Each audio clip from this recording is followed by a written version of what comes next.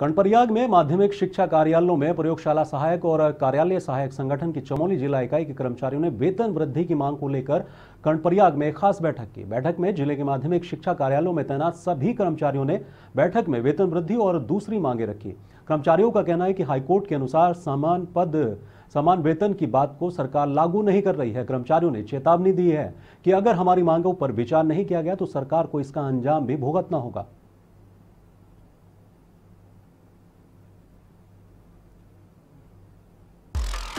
Thank you.